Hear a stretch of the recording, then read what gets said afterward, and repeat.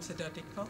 I'm currently completing a traineeship in uh, telecommunication. I'm employed by Skilled as trainee network designer. When I was in my um, secondary school, I'd actually had a passion for the telecommunication industry.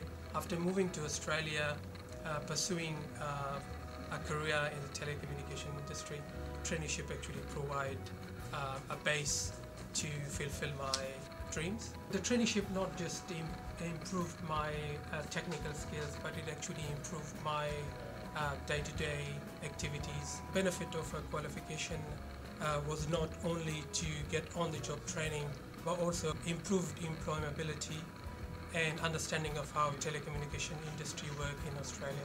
The structure of the traineeship is really beneficial because it gives them a hands-on experience before they actually come into the office. So that's just taken to it and uh, he's doing a great job. He's actually putting out um, really good designs and he now is considered very much a part of the team in delivering the, pro- uh, the program of work that we have.